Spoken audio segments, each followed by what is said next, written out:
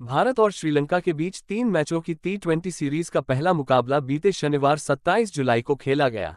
मुकाबले में team India ने 43 रनों से जीत हासिल की।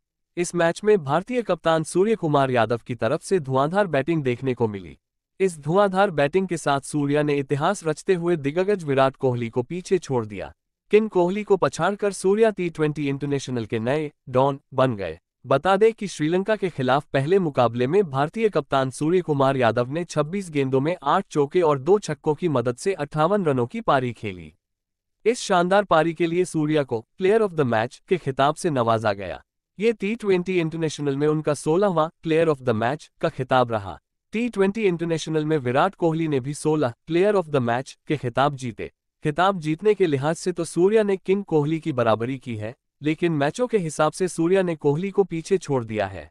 विराट कोहली ने 125 मैचों में 16 प्लेयर ऑफ़ द मैच के खिताब अपने नाम किए हैं, जबकि सूर्या ने सिर्फ़ उनहत्तर मैचों में ही 16 प्लेयर ऑफ़ द मैच के अवार्ड जीत लिए हैं।